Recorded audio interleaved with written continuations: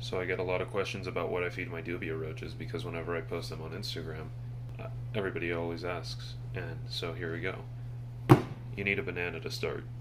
Then you just make it naked. For the demonstration purposes of this video, we're only going to use half of the banana, so you're just going to cut it in half, like that. Now, while I am using half of the bananas for my dubia roaches, I am giving the other half to my katydids, so that they can have a nice, delicious feast. Next, you're going to need three things. First, a dubia bin. Second, some Pangea. It can be whatever flavor you want. Next, and lastly, you're going to need some cichlid pellets. I like to use these because they have protein, veggies, minerals, and they're cheap, and I got them from Amazon. Thank you, Jeff Bezos. And now the last part, which is the easiest. First, you're going to add a banana over onto your food dish. Then, you're going to add some cichlid pellets. And finally, you're going to top it off with a nice dusting of Pangea.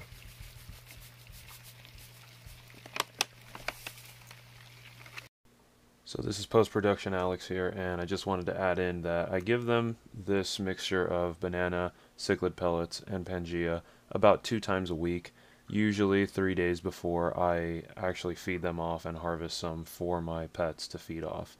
It works out really well, and they've been producing very nicely for me. As you can see, they really enjoy it as well.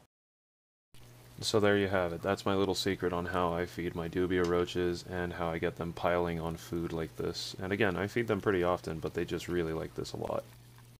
If you enjoyed this short little video, let me know in the comments and I'll gladly make more. It was very not time consuming to make and uh, yeah, pretty fun.